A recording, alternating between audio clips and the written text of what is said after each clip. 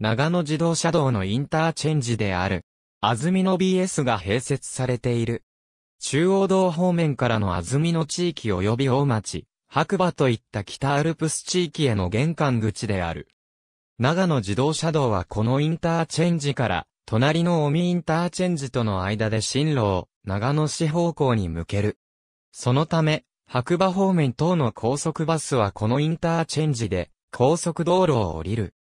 2005年の道路関係4公団が民営化後は、東愛市を境に、北側が、東日本高速道路、南側中日本高速道路の営業範囲となり、東愛市は中日本高速道路の管轄となっている。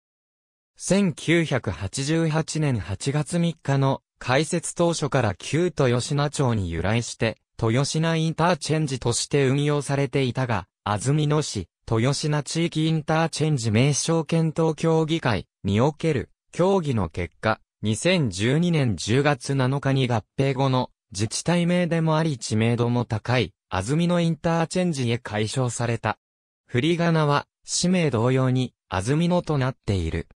安曇野バスストップは、長野県安曇野市の長野自動車道、安曇野インターチェンジ内に併設されている高速バス、停留所、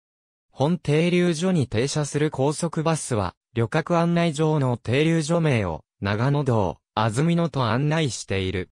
2013年3月31日までは、豊品バスストップであり、旅客案内上の停留所名は、長野道豊品であった。ありがとうございます。